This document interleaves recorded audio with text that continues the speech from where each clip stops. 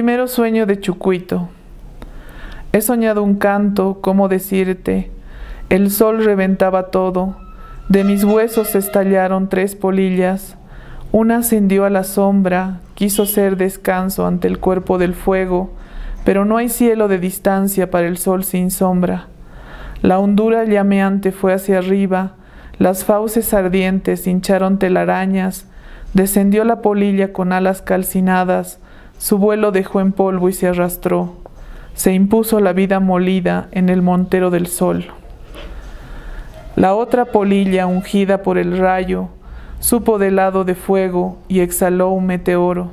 Alcanzó las raíces y vio su tumba, pero antes escogió ser ofrenda, cuidó a un gusano, se puso toldo en su camino, perdió su querido la senda un instante, una nube quemada lo cubrió, y una sombra arrastró tras él.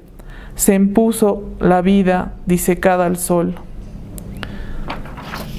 La última polilla creó en siglos una nube que diera sombra, desplegó sus alas ataviadas de rocío, batió sus alas ataviadas de rocío, durmió en hollín y en vapores enrojecidos, se posó alegre en la mesa de mediodía, el sol cautivado, conmovido, inclinó su crin de fuego en reverencia y permaneció al borde de las aguas imaginadas.